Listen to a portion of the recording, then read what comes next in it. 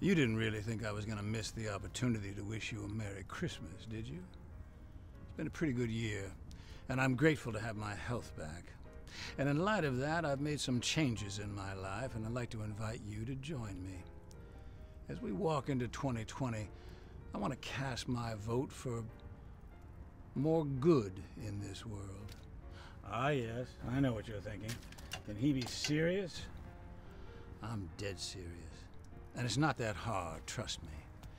The next time someone does something you don't like, you can go on the attack, but you can also hold your fire and do the unexpected. You can kill them with kindness.